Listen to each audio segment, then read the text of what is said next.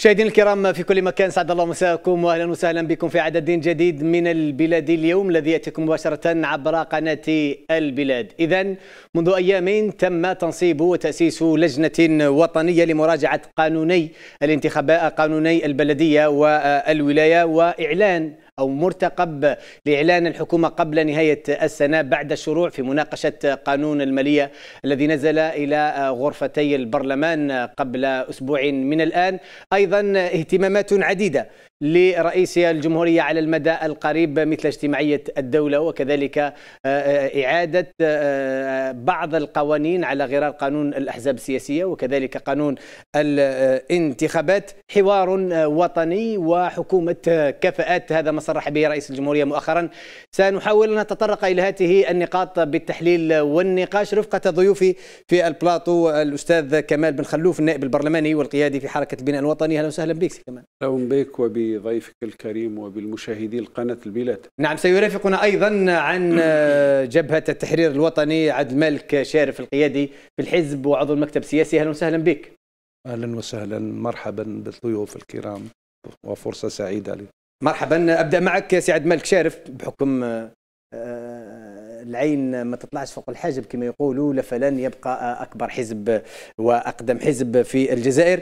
ما هي الأدوار الرئيسية التي يمكن أن تلعبها؟ الطبقة السياسية والأحزاب السياسية وحتى آه، الشخصيات السياسية الوطنية في آه، هذه المقترحات وفي هذه التعديلات المنتظرة على غرار تعديلات آه، قانوني البلدية قانون الولاية وغيرها من القوانين المنتظر أن تكون خلال هذه السنة اللي خلينا نقول باللي سنة سياسية ربما.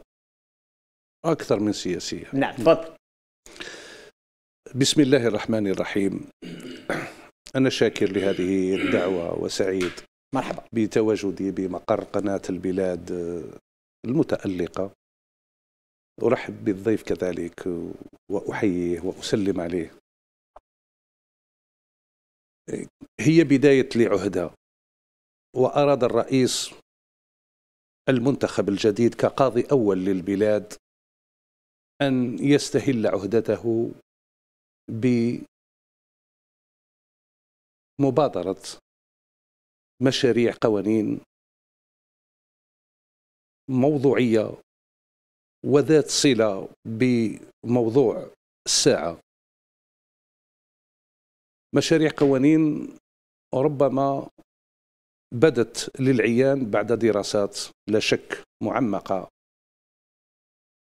ومر عهد من الزمن كان لزاما أن تعدل أو تغير مصايرة لما يعرف ببناء مرحلة جديدة سماها الرئيس الجزائر الجديدة. تلك الجزائر التي لا تنتصر إلا برزنامة تشريعية متكيفة مع الواقع محسنة للأوضاع الحالية. لعل على رأسها قانون البلدية والولاية. ذلك أن الدستور الجزائري ينص في مؤسساته الدولتية. لزيتابليسمون إيتاتيك أن هذه الجمهورية الجزائرية الديمقراطية الشعبية تتكون من البلدية والولاية. هذه الأسر الإدارية التي يجب أن تعنى باهتمام خاص. فالتنمية تبدأ من البلدية وعينها وتربعها يظهر على مستوى الولاية والولاية فرض من مجتمع الدولة. فالجمهورية مجموع بلديات هي كذلك مجموع مختصر مجموع ولايات. قانون البلدية والولاية في صلبه كان يحتاج على أن لا يمر كمشروع عادي على مجلس الوزراء. كمشروع ثم يحط بالبرلمان بغرفته. استحداث لجنة بهذا الوزن وبهذه التشكيلة أولا هدفه العناية.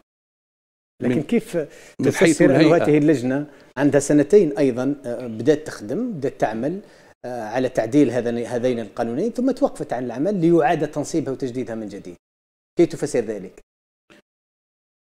بدأت تغييرات لأن رئيس الجمهورية كان قد أمر باستحداث ولايات منتدبة. إذا كأنما الإصلاح عندما بدأ الإصلاح بدأ إصدار ما يعرف بدوائر وولايات منتدبة جديدة. فجاءت الضرورة على أن تعاد الدراسة من جديد قوية على أسس صلبة. ونحن هنا في أمرين. أولا ما يعرف بالتقسيم الإداري. هذا الذي جعل منه رئيس الجمهورية كالتزام وقطعه على أنفس أنفسه وعاهد يعني منتخبيه به وهو استحداث ما يعرف ب ولاية. بدأها بالجنوب. من خلال هذه اللجنة؟ راح نروحوا إلى 100 ولاية في المرحلة القادمة؟ هو التزام الرئيس لأن بدأنا بالجنوب يعني بدأت العملية بالجنوب استحداث ولايات منددة بالجنوب ثم الهضاب والمرحلة الثانية يعني في ولاية الساحل.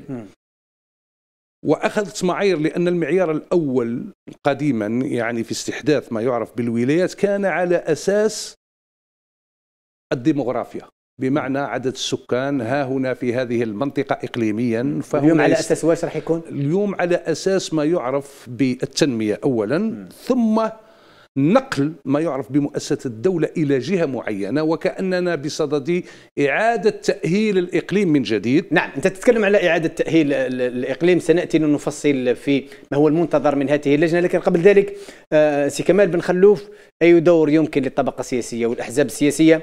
آه، أن تلعبه في ظل هذه المراجعة وفي ظل هذه الورشات المفتوحة بالنسبة لهذه القوانين المنتظرة. نعم بسم الله الرحمن الرحيم. على كل حال عندما نتكلم على دور الأحزاب السياسية في هذه المرحلة م. وفي ظل مجموعة مضامين طرحها رئيس الجمهورية م.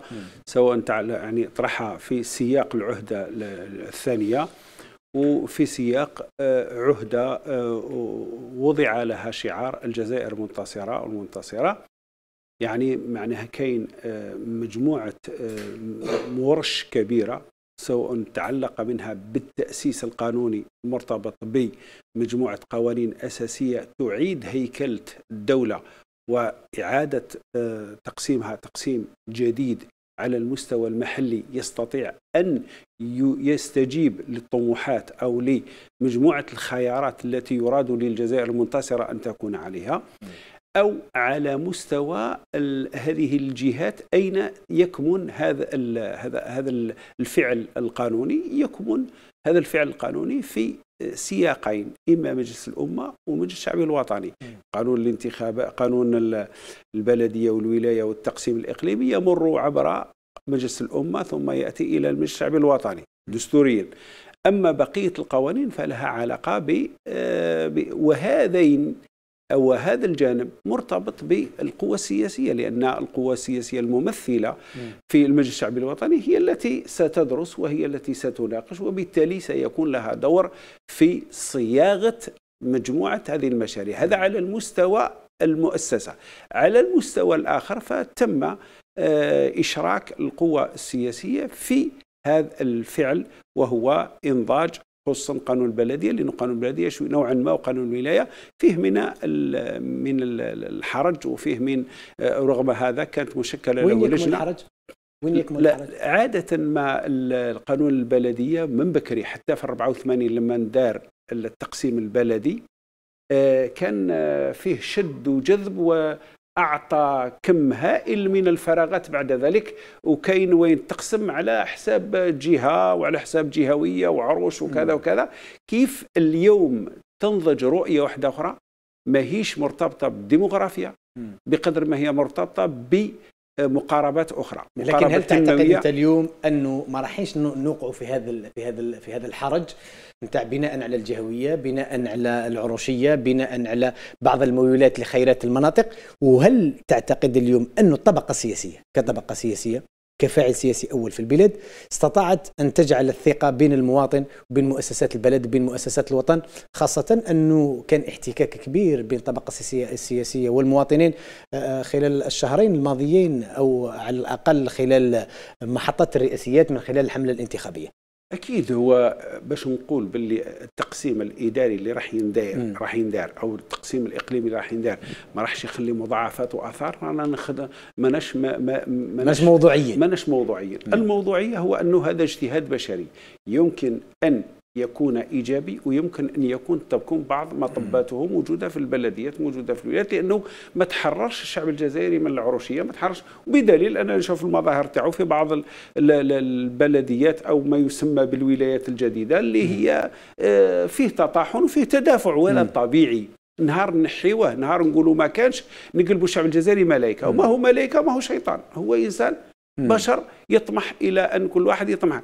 الشيء الثاني على المستوى آه، السياسي كذلك ما يلزمش نطلع السقف بزاف لأنه عندنا قريب 600 بلدية راهي راهي في, في انسداد. شبه انسداد وهذا وهذا المتسبب فيها الأحزاب السياسية. نعم نعم, نعم ولذلك ما ما نطلعش السقف بأن الأحزاب السياسية راهي آه، جهدها راهو إلى المستوى. إنما نحن نسعى إلى مقاربة جديدة. تستطيع أن تضمن العملية للقواعد اللي يبني عليها رئيس الجمهورية مشروع الجزائر المنتصرة. كيف نحقق على مستوى الميدان؟ يحتاج منا إلى كذلك مقاربات أخرى وإلى عملية تحفيز قوي يستطيع كل هذه الجوانب أن تحقق لنا بصمة مستقبلية ولكن مم. تبقى ما دام عمل بشري فهو يبقى منقوص انت تكلمت انت تكلمت على نعم. على مستوى الطبقة السياسية ومستوى الأحزاب السياسية ومستوى أداء وقلت بانه وكأنه سعد ملك سي كمال بن خلوف قال بانه الطبقة السياسية لم ترتقي إلى هذا المستوى اللي تجنبنا هذا الحرج اللي تفك العجز اللي تعيشه بعض البلديات واللي تفك الانسداد الذي آه، تعيشه أيضا بعض البلديات في تقييمك آه، لأداء الطبقة السياسية اليوم؟ وهل فعلا هناك منهج لإبعاد الطبقة السياسية على أداء دورها؟ أولا آه، بودي نناقش نعم النقاش مفتوح. في فيما يخص تقسيم هدفه اولا لابد أن نتفق على أن السياسة الرامية إلى إعادة التقسيم الإداري تأخذ بمعيار اولا اقتصادي. اقتصادي محض مرتبط بإعادة ما يعرف الإقليم إعادة تهيئة الإقليم. المعيار ليس اجتماعي شخصي أنثروبولوجي بقدر ما هو جغرافي. مثلا عندما نتحدث عن كثافة معينة في إقليم معين وبدون حساسية يعني هناك مناطق يعني ذات كثافة سكانية هائلة لم تستحدث فيها ما يعرف بولاية منتدبة. الولايات المنتدبة ظهرت اولا ما ظهرت. مظلومة؟ لا ليس بالمظلومة. مم. أنا أشرح الفكرة. بناء على واش اذا أريد أن أشرح الفكرة. فضل. يعني فرصتي إني أشرح فضل. الفكرة. أول ما استحدثت الولايات المنتدبة استحدثت في الجزائر العاصمة. مم. كنا فيما يعرف بمعروف ما, ما يعرف بمحافظه محافظة كوفرنورا. ومن بعد مشينا إلى ولاية منتدبه حيث العاصمة حيث ربع أكثر من ربع ملايين ساكن نحن بصدد تنظيم لتنظيم ما يعرف بالساكنة. بما يعرف هنا إحنا في الحكم الراشد. أما ما يعرف بالولايات المنتدبه حاليا هي على أساس اقتصادي. نعطي مثال. عندما نقول ولاية منتدبة في المغبر عندما نقول في مسعد عندما نقول في المنيعة لماذا استحدثت مثل هذه الولايات المنتدبة التي تبشر أن تكون خالصة ولايات قائمة بذاتها بمفهومها القانون. كأنما عندما قلنا المنيعة قلنا حيث مصادر المياه حيث ارتقت الزراعة. ذات مرة قيل لنا أن الصحراء لا تنتج. وجاءت إرادة سياسية وأصبحت الصحراء خضراء. أصبحت سلة سلة للغذاء للخضروات والفواكه. فكأنما لجأنا إلى المنيعة ولاية منتدبة حيث إنتاجها الزراعي. عندما نقول الولايات المنتدبة بالجلفة كأنما نقول أن قد هب من الخارج مستثمرا في ما يعرف بشركة آه، بلادنا لإنتاج الحليب. إذا النظرة اقتصادية محضة وكلمة مثلا يعني عروشية أنثروبولوجية أو على أساس نظرة اجتماعية تكاد تكون مستبعدة في هذا الظرف بقدر ما هي نظرة اقتصادية. إذا الولايات المنتدبة تتتبع فرص استحداث الثروة. وأينما توجد الثروة يوجد ما يعرف بمركز جذاب للبشر على حسب نظرية ابن خلدون حيث الماء والكلى تكون الحضارة ويكون التمدن. بالرجوع إلى سؤالكم مدى مشاركتنا في في في في يعني هذه المبادرة القانونية؟ لا تقييمك لأداء الأحزاب السياسية والطبقة السياسية.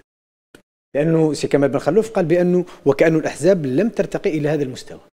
والدليل تكلم على 600 بلدية عاجزة أو آه، فيها انسداد. وهو كذلك.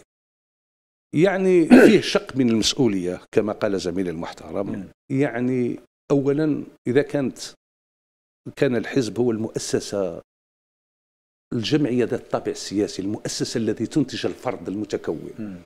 وأخفقت في إنتاج منتوجها لأن يخرج من الحزب ما يعرف بالمسؤول المحلي المنتخب اللي يكون شيخ البلدية مثلا.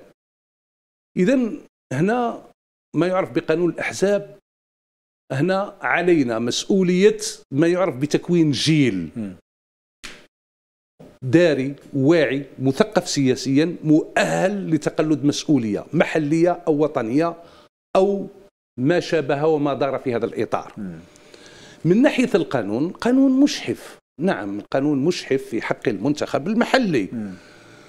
وجاء هذا هذه مبادرة إصلاحه وأنا سأفضل كلمة إصلاح وعندما نقول كلمة إصلاح بمعنى أن هناك تجسد للعيان أن هناك ضرر عطب يستوجب جبره وإصلاحه. نثمن كذلك لكن المسؤولية كذلك تعق علينا فيما يعرف بشروط ترشيح ترشح. يعني المؤسسة السياسية ونقصد بها الأحزاب لا بد أن تراعي وتدرس شروط الترشح لأن هي المخ المقترحة لما يعرف بالكيان البشري.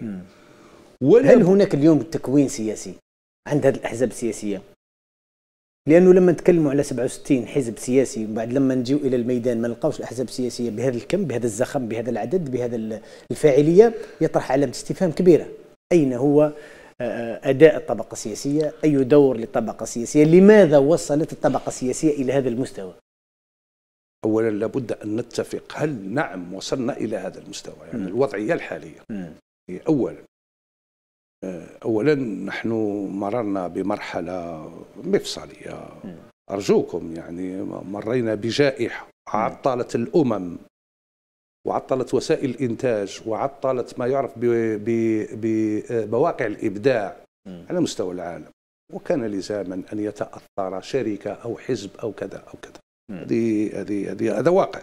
ثانيا مررنا بمرحلة مرحلة خرج فيها الشعب الجزائري وقال كلمة حق يراد بها حق وسميناه بالحراك الأصيل وذكر في ديباجة الدستور. إذا هذا منعطف زمني مرينا به وكان لزاما أن يقول الشعب كلمته وليس الأحزاب. قال الشعب والشعب خرج في هبة واحدة. ليس المؤسسة السياسية خرج الشعب. فكان لابد أن يحترم الشعب ويترك المجال للشعب. فقال الشعب. ثم جاءت الأحزاب. بعدها وتكيفت مع ما قاله الشعب وأرادت. وهنا أتكلم عن حزبي حزب جبهة التحرير الوطني. نحن في المؤتمر الحادي عشر أخذنا بعين الاعتبار من حيث آه، دراستنا لمشروع المؤتمر أننا خرجنا من مرحلة معينة. ولا بد من مناهضة الآفات تلك الآفات التي نبذها الشعب الجزائري.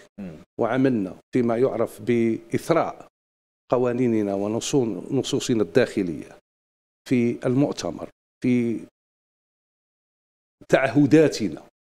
فجاء مؤتمرنا وكأنما نريد أن نتكيف مع هذا الوضع.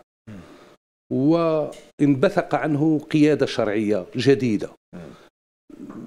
قيادة شرعية جديدة جاءت كأنما نريد جيل آخر وأنت تتحدث عن الكفاءة وتتحدث عن التمثيل وتتحدث عن التداول وكلها عبارات وشعارات حملت في الحراك الأصيل.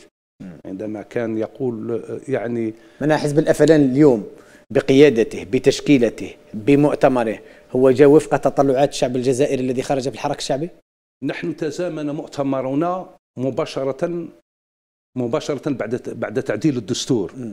فكان لزاما كمؤسسة سياسية. أولا أن نتكيف معه. سينون آه، ما تكونش عندنا شهادة مطابقة بالوزاره الداخلية. ثالثا نحن حزب شعبي. نظمنا مؤتمر أكثر من 6000 مندوب. هذه 6000 مندوب منها الحركيين الأصليين منها المناضلين الوطنيين على اختلاف مشاربهم. كأنما خلصنا إلى خلاصة وعصارة أننا جئنا لنتكيف مع الوضع السياسي الجديد.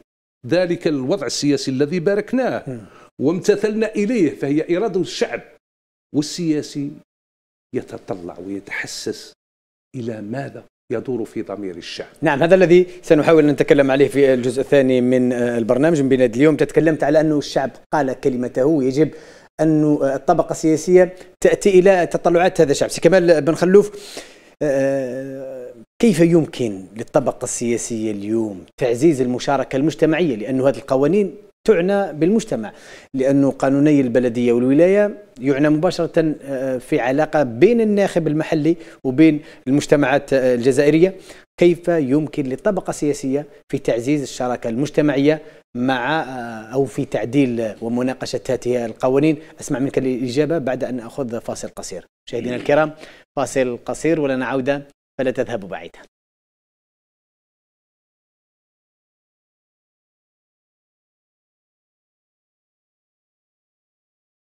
عودة إليكم مشاهدينا الكرام في هذا الجزء الثاني من البلاد اليوم دائما لمناقشة أولى أهداف وكذلك الملفات التي تصب في صلب اهتمام رئيس الجمهورية التي أعلن عليها في لقائه الدوري مع وسائل الإعلام. أين أكد أنه بصدد إعداد حكومة كفاءات سيتم الإعلان عنها قبل نهاية السنة. كذلك الإعلان عن اللقاء الدوري مع البرلمان وكذلك لقاء الحوار الوطني الذي سيكون نهاية السنة المقبلة مع الطبقات السياسية وكذلك مع الأحزاب السياسية.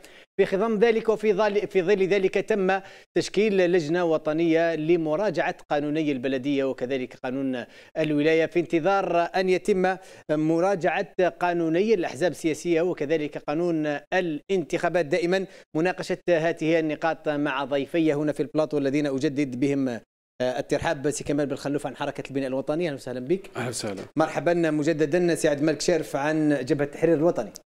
كنت توقفت معك سي كمال بن خلوف عن آه، الدور الذي يجب أن تلعبه الطبقه السياسيه آه، في تعزيز المشاركة المجتمعية لإعداد هذين القانونين على الأقل لأنهما يعنيان بالحياة اليومية للمواطن والعلاقة آه، الدائمة ما بين المنتخب المحلي ممثلا في P/APC رئيس المجلس الشعبي البلدي وكذلك رئيس المجلس الشعبي الولائي مع المواطن مباشرة.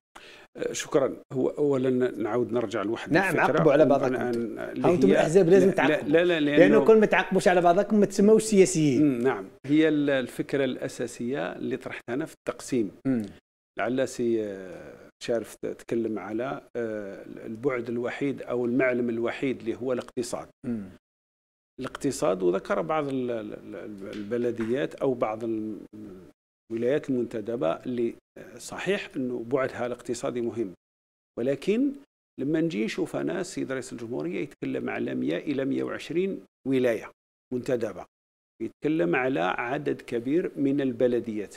معنى ذلك أن فيه بعد آخر أو أبعاد أخرى تدخل ضمن السياق وما نقدروش نفصلوها ما نقدروش اليوم لما نتكلموا آه، على بعض الولايات المنتدبة اللي تتحول إلى ولايات آه، حقيقية إنها بعيدة عن معايير أخرى لأن الدولة تفكر ما تفكرش بالبعد الاقتصادي برك تفكر بالبعد الاقتصادي البعد الاجتماعي البعد البعد السياسي. نعم, نعم لأن البعد السياسي موجود. تفكر في بعد تنموي لأنه كاين وين اللي توازنات عديدة اللي تخلي اللي تخلي التقسيم هذا يتجسد التقسيم هذا يتجسد تبقى مسؤولية الاقناع بهذا التقسيم وتجنيب نعم. الحرج هذه نعم. مسؤولية من؟ هل هي مسؤولية فقط الطبقة السياسية؟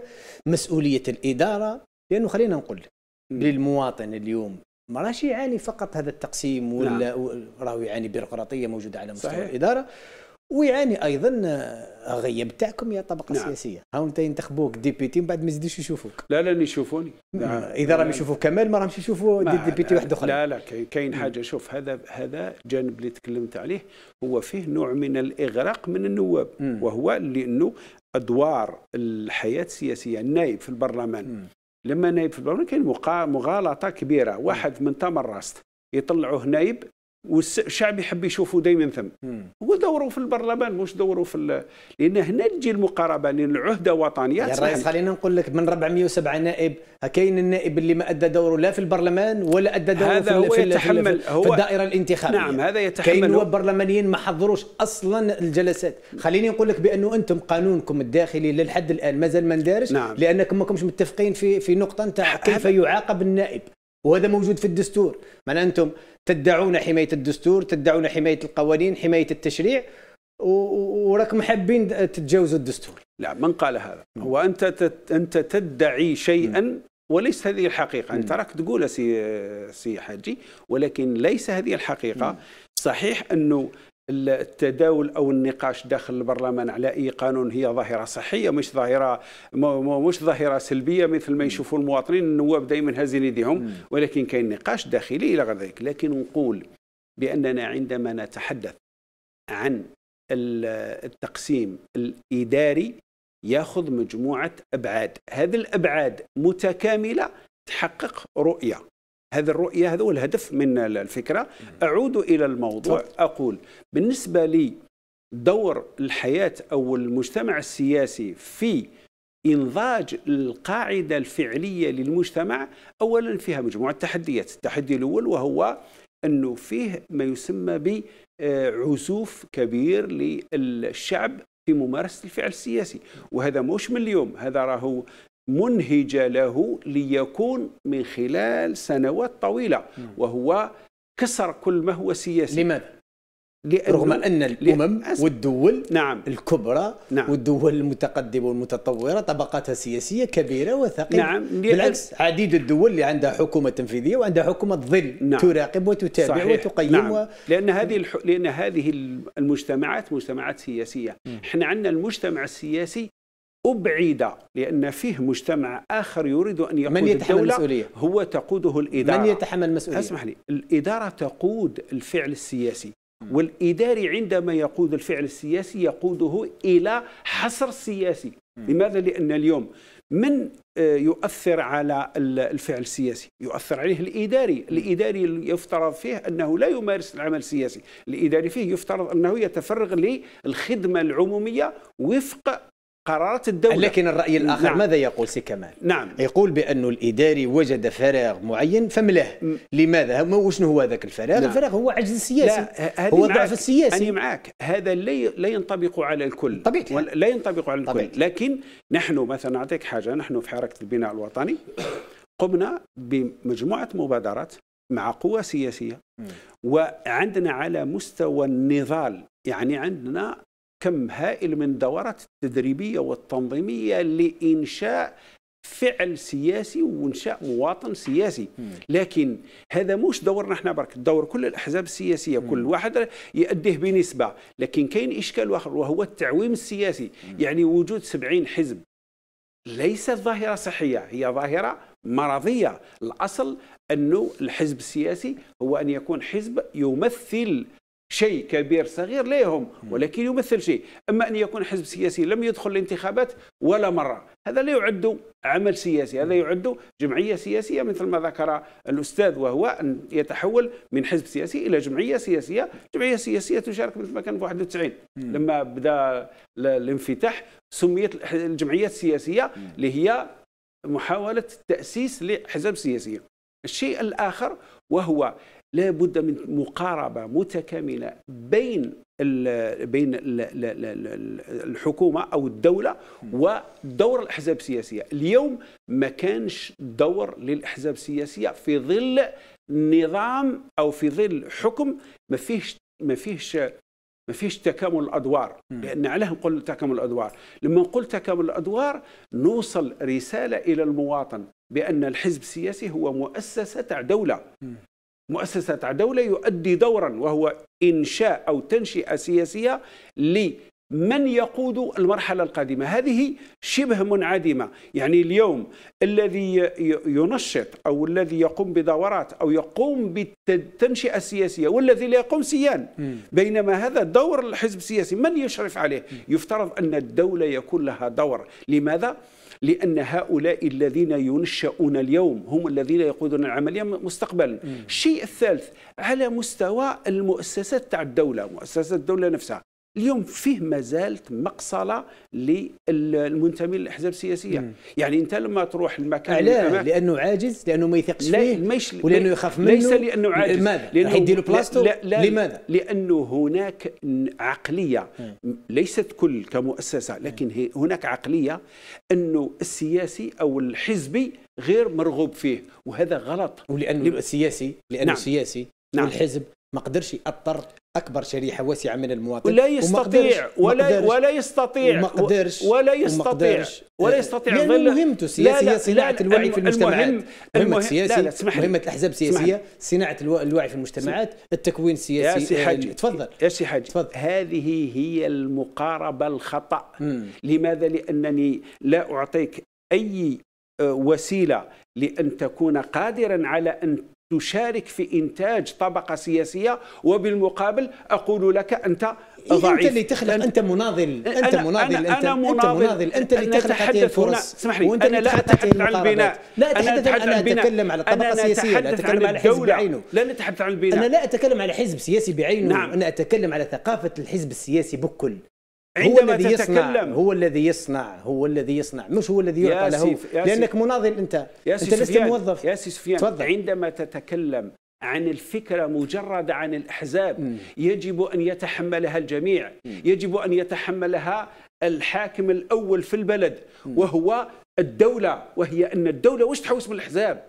لازم لازم يولي كاين عندي منظومة أنا وهو وأنت كإعلامي والآخر عندنا رؤية للعمل السياسي واش هو؟ باه نقدروا نقودوا البلاد في المستقبل. هذا ما ولاش حزب هذا اللي تقول لي أنت لازم نعرفوا الدولة والرئيس واش يحوس منه هذا يولي حزب وظيفي ما يوليش حزب سياسي. أتي إليك سي عدل سي مختلف معك في هذه الرؤية. لا لا مش وظيفي هذا. لا لا لا مش أنت تنتظر مش حزب وظيفي. نعم أنت تنتظر ماذا أريد؟ مش حزب وظيفي. أنت تنتظر أنا أتحدث عن منظومة أنت تنتظر أنت تنتظر ماذا أريد؟ منك أنا لتنفيذ تنفيذه ولا لتجسيده. سي آه، عبد الملك آه، شارف كيف يمكن ولا أتفق. كيف يمكن اليوم تحسين التعاون بين الطبقة السياسية وبين المجتمعات المحلية على الأقل في سياق مراجعة هذه القوانين يعني؟ نعم.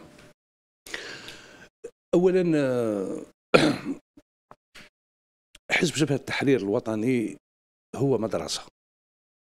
أنا أستمع في في هذه المداخلة ولا أريد أن أكون يعني في مداخلتي محل تفضيل على أساس آه، أن الأحزاب لا تلعب دورها. لكن عندما نتكلم عن الأفلان أولا هناك تراث هناك تاريخ هناك رصيد. هذا يزيد الثقل هذا التراث والتاريخ والكبر والقدم وكذا يزيد الثقل يزيد المسؤولية. أرجوك يعني م.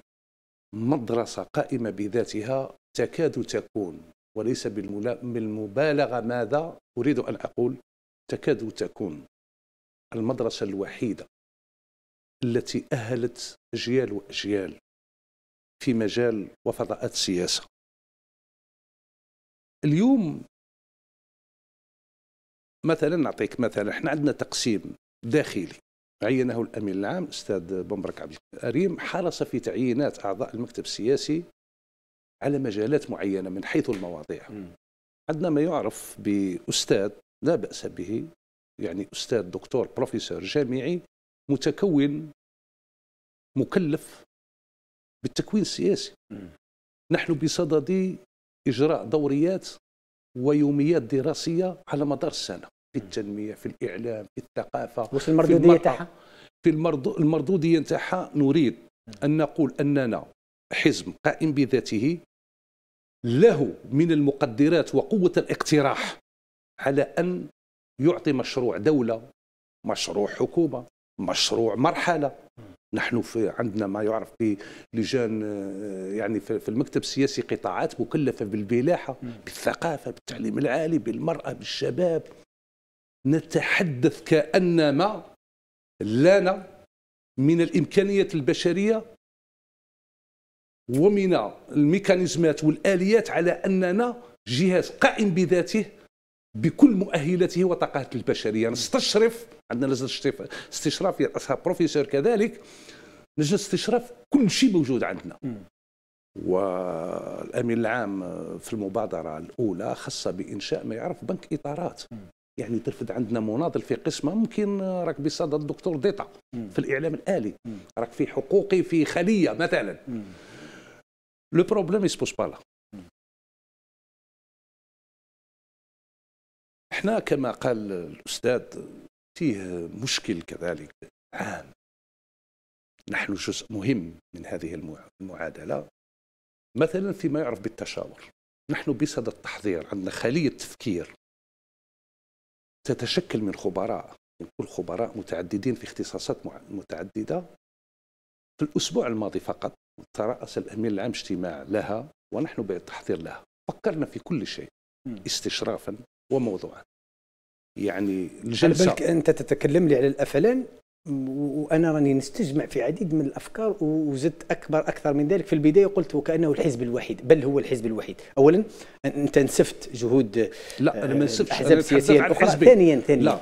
أنت تتكلم لي على استشراف تتكلم لي على عدد هياكل إطارات. حزب الأفلان منذ تأسيسه إلى الآن ما قدمش مرشح إلى منصب رئاسة الجمهورية.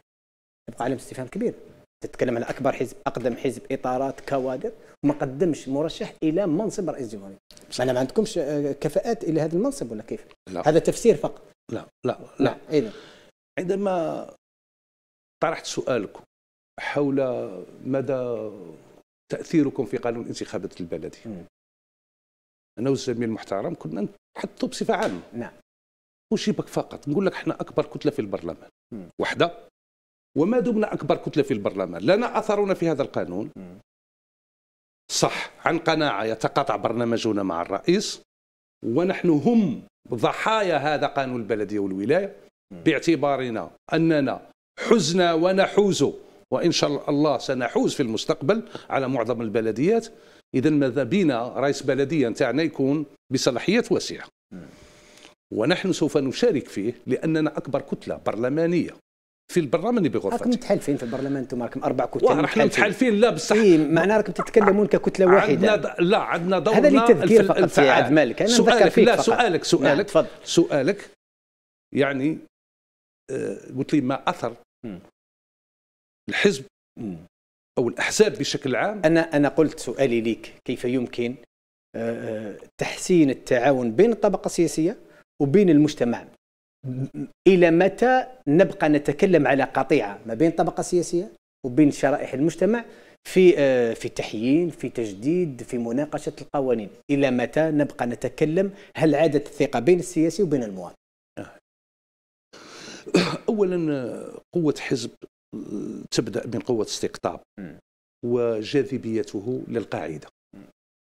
يعني هكذا هكذا نتحاسب. إحنا دوك نقول لك إحنا هنا دوك كي نهضر لك على الافلان أنا ممثل للافلان صحيح. إحنا عندنا أكثر من ربع مليون آه، مناضل منخرط الآن. اذا إذا هدرنا على الاستقطاب إذا هدرنا على التعبئة إذا هدرنا على قوة الحشد عندنا أكثر من ربع مليون. هذا ما نهدرش على المحبين والمتعاطفين. ثانيا عندما تقول خط وطني في الجزائر لأن أستاذ قال باللي فيه أكثر من 70 حزب إلى غير ذلك لابد من اختصار الصورة السياسية. اليوم الحزب اللي يدي صورة. وهذه الأحزاب السياسية بين قوسين. ما جاتش من العدم. كانت كلها في أحزاب سياسية كبرى ومن بعد بدأت تنشطر. معناها أو تأسست. معناها هذه الأحزاب السياسية ثاني. هي راهي وليدة أحزاب سياسية أخرى. معناها راهي رافدة ثقافه أحزاب سياسية واحدة أخرى. لكن الجميل هو عندما تسمع مثلا حزب عندما يدي وصف معين ما نستعملش هذه الكلمة مثل ماذا؟ وصف معين إيديولوجي معين في الفضاء السياسي مازال عندنا هذا الشيء؟ اليوم كل الأحزاب في خطاباتها في بياناتها. إحنا لما يجونا البيانات وكأنه بيان واحد. من من قاعه واحدة فقط من فوق فقط أنا مكمل لك فقط من فوق l'entête يتبدل. معنى اللي تقول له باللي راك حزب إسلامي يقول لك لا لا يا ولدي أنا حزب وطني. اللي تقول له راك حزب ديمقراطي يقول لك لا لا أنا راني حزب وطني. اللي تقول له حزب وطني يقول لك أنا الجميع راه اللي يقول لك لا شو أرجوك. معنى معنى الطبقة السياسية؟ الطبقة السياسية. تدي دائما الموضة اللي راهي موجودة. آه. ايامات الحراك اللي يتكلم معاه يقول لك أنا حزب نوفمبري. مبادئ نوفمبريه جات بعد نوفمبر بعد الرئاسيات يقول لك لا لا أنا راني حزب وطني. ماني ما تصنفنيش إسلامي. نقول لك هذا البلاطو جاو فيه رؤساء الأحزاب. نقول له حزبك الإسلامي يقول لي لا إلا هذا التصنيف أنا راني حزب وطني. تقول له أنت حزب وطني؟ يقول لك أنا حزب حزب ديمقراطي. يقول لك لا لا أنا حزب وطني. أنا مع ما لم تعد هناك اليوم التقسيم الإيديولوجي ولا التصنيف الإيديولوجي في في الطبقة السياسية. لا بصح من حيث المواقف. أرجوك عندما نقول النوفمبري هذا دستور. وكل الأحزاب تخضع في بيانها وتأسيسها كل مجتمع جزائري لا لا هذا قانون هذا دستور. لكن شوف هذا دستور. أرجوك هذا دستور. بصح أنا ما نبغيش نقول شوف ما نبغيش نحتكر هذه الكلمة. ما نبغيش نقول لك نحن اسياد نوفمبر. ما نبغيش نقولها لك. كل الجزائريين. كل الجزائريين. لا بس ما نبغيش نقول لك c'est الجبهة التحرير الوطني الجزائر يعرف برا بثورة ما بغيتش نقول لك. ما هيش لا ما بغيتش نقول لك تعرف علاش سي, سي حاج تعرف علاش ما بغيتش؟ تفضل. آه اسمع لي مليح. لأن كي قلنا المؤتمر الحادي عشر. ونريد ولا نريد أن نكون متملقين. ونريد أن نسمع ونصغي للحراك الأصيل بعيدا عن أي تملق بعيدا عن أي مزايدة كأنما نؤسس كأنما نؤسس لحزب جبهة التحرير الوطني حزبا وطنيا. وهنايا سطرين نعم. تحت كلمة وطنيا ديمقراطيا. لكن وطنيا. اذا حتى واحد ما يزايد علينا في حزب جبهة التحرير عندما تقول الوطني يقولوا حزب التحرير الوطني. ماذا بينا يكون يكون كذلك؟ بقى لي دقيقتين فقط من وقت البرنامج. عندي سؤال سأترك لكم الإجابة. كيف كيف كيف تؤثر آه، التغيرات الإقليمية وكذلك الدولية على العمل السياسي في الجزائر؟ هل عندها تغييرات؟ هل عندها آه، آثر؟ ولا ما عندهاش حتى آثر؟ في دقيقة سي كمال. نعم هو التغيير الحاصل دوليا واقليما عنده تأثير مباشر. لماذا؟ لأن الحزب السياسي يتناغم مع سياسة البلد خصوصا في شقها الخارجي في شقها الدبلوماسي في شقها الأمن الإقليمي. ولذلك لابد أن يتفاعل معه سلبا وايجابا في شبكة العلاقات التي تربط الحزب حتى برؤى وأحزاب أخرى دولية. لماذا؟ لأنه في النهاية هذا الحزب هو حزب جزائري ولكن الأفكار عابرة للقارات والتجارب عابرة للقارات وحماية الوطن فكريا وامنيا وسياسيا امنيا يتطلب أن يتماهى الحزب مع الطبقه السياسيه اليوم راهي حاسة بهذا الدور بهذه القيمة؟ لا, لا لا أجزم في أن الكل لكن نحن في حركة البناء الوطني وأنت تتابع أنه لا تكون شارده ولا واردة إلا ويكون الحزب فيها نقاش. نعم. ومع ذلك أقول لشيء صديقي وزميلي أنه يمكن أن لكلامه أن يناقش بشكل آخر.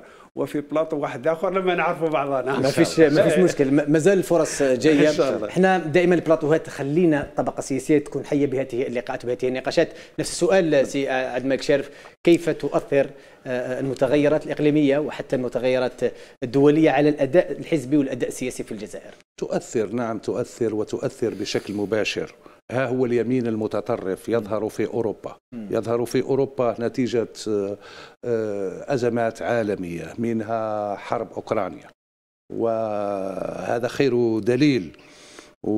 والصراع القائم هنا في الحملة الانتخابية الأمريكية فموضوع الحملة الانتخابية الأمريكية ليست تنمية في أمريكا بل الحرب في غزة الحرب في آه، أوكرانيا والصراع آه، الصيني وما تعلق بالمضايق أحزابنا السياسية وقيادات أحزابنا السياسية عملية إسقاط مباشرة. أنا نقول أن خطاب الحملة السياسية خطاب الحملة آه، الرئاسية انصب حول ما يعرف بمشاكل إقليمية. الإقليم مكهرب. خطاب الحملة السياسية تاع الأحزاب فيها وعليها. أنا لا أقيم هنا نعم. سأقول نعم. أنا كلمة. أنا أقول تكلمت عن التأثير.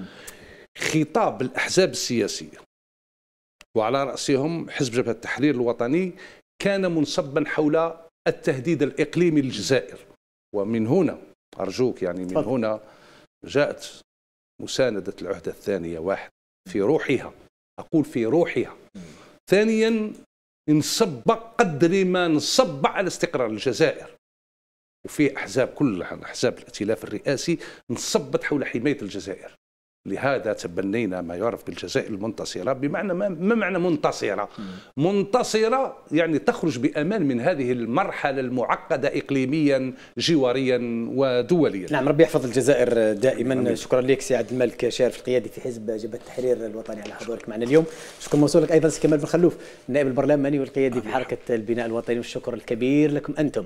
أوفياء قناة البلاد في كل مكان إلى هنا وصلنا إلى ختام هذا العدد من البلاد اليوم. إلى مواعيد أخرى. أترككم في رعاية الله وحفظه. سلام.